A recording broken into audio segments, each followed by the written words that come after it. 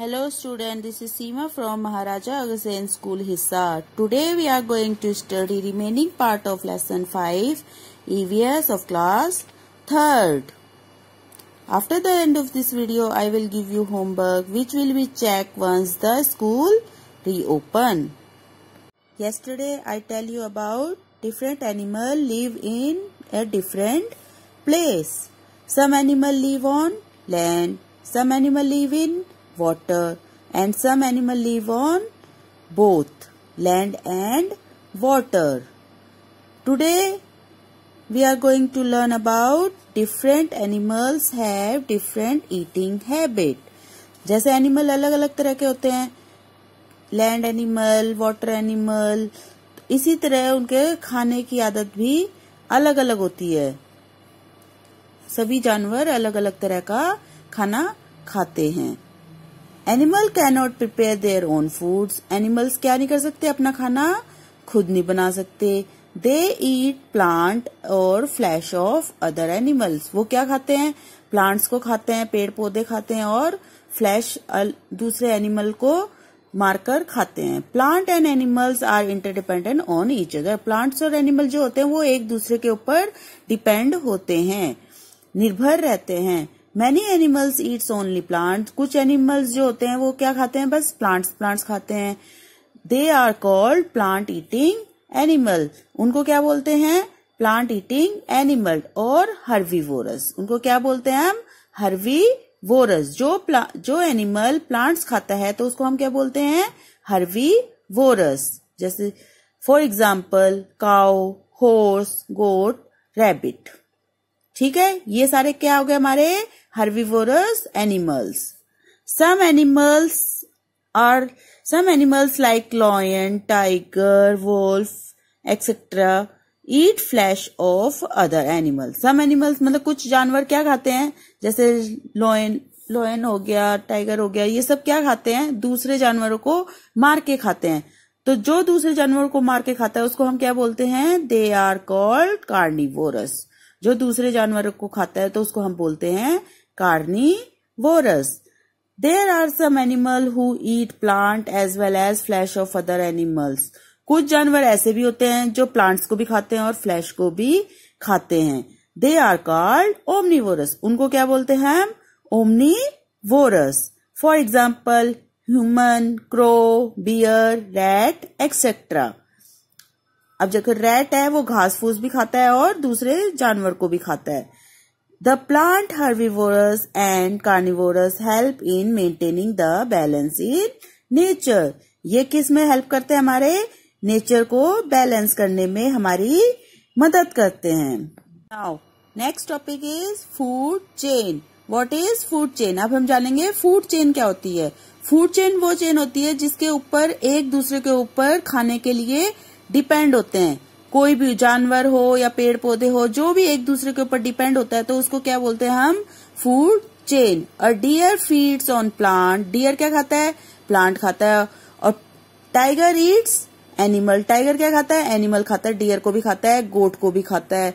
तो इसी तरह ये एक दूसरे के ऊपर डिपेंड हो गए ना तो जो भी चीज़ एक दूसरे के ऊपर डिपेंड होती है तो उसको हम क्या बोलते हैं?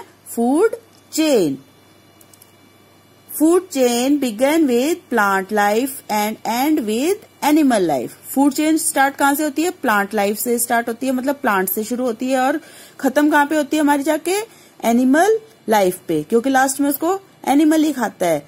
सम एनिमल्स ईट्स प्लांट कुछ एनिमल्स क्या होते हैं? प्लांट खाते हैं। Some animal eat other animal कुछ जानवर दूसरे जानवरों को खाते हैं मारकर The energy gets transformed from one organism to another is a, in a food chain.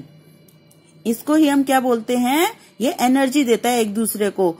तो उसको हम बोलेंगे फ़ूड चेन और फ़ूड चेन कहाँ से स्टार्ट होती है? सन से। कहा से? सन से। क्योंकि सन से ही पेड़ पौधे खाना लेते हैं, फिर इनको देते, देखो जानवर को दे रहे हैं, छोटे जानवर को, फिर ये टाइगर इसको खा रहा है, ये इसको खा रहा है। तो ये हमारी क्या होगी? एक हमारी, ये हमारी फ़ूड चेन बिल्ड होती है ऐसे। All food chain begin with plant सारी फ़ूड चेन कहाँ से स्टार्ट होती है? प्लांट से स्टार्ट होती है।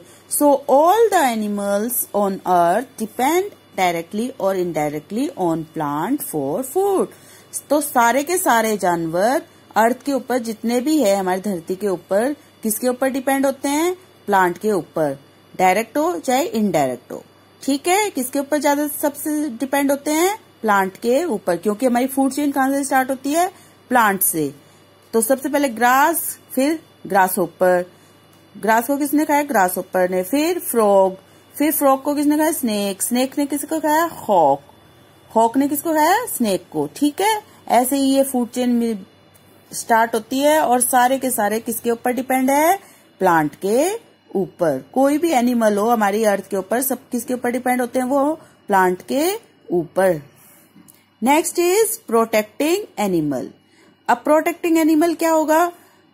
Some animals like tiger Indian rhinoceros and panda are now very few in numbers मतलब बहुत कम रह गए हैं। ये जानवर जो है, बहुत कम रह गए हैं धरती के ऊपर। टाइगर हो गया राइनासोर हो गया पांडा हो गया आपने देखे भी बहुत कम होंगे। तो एंड आर डिक्रीजिंग मतलब ये घटते ही जा रहे हैं। इनकी संख्या क्या होती जा रही है? घटती जा रही है। Some animals are called endangered animals in animals को क्या बोलते हैं? Endangered animal we have to protect them and we should be kind of animal हमको इनकी क्या करनी चाहिए? रक्षा करनी चाहिए। हमको इनको प्रोटेक्ट करना चाहिए, हमको इनकी रक्षा करनी चाहिए इस टाइप के जानवरों क्यों क्योंकि ये हमारी धरती से लुप्त होते जा रहे हैं, इसलिए हमको इनको बचाना है। Now this is end of this chapter this is your homework answer the following question question one name the biggest and smallest animal you have seen जो भी आपने बिगेस्ट और स्मॉलेस्ट एनिमल देखा है, उसके नाम लिखने हैं यहाँ पे। जैसे first biggest animal elephant smallest animal rat कुछ भी लिख सकते हो आप, जो आपने देखा है छोटा। Which is the animal you have only heard about एक ऐसा जानवर लिखना है यहाँ पे, जिसके बारे में बस आपने सुना सुना हो, देखा नहीं हो। तो ये है dyna dinosaur name three small and big animal three small animals लिखने और थ्री बिग एनिमल लिखने हैं। ठीक है? Small rat dog rabbit big camel yak elephant what are amphibians name any two amphibians क्या होते हैं? बताया था ना मैंने some animal live both on land and in water जो एनिमल में एनिमल्स लैंड और वाटर दोनों जगह रहते हैं, उनको हम एम्फीबियंस बोलते हैं। Question five is what is food chain food chain क्या होती है? Who eat whom is called a food chain जो एक दूसरे के ऊपर, एक दूसरे को खाते हैं तो उसको हम क्या बोलते हैं? Food chain example sun grass rabbit lion this is your homework write and learn thank you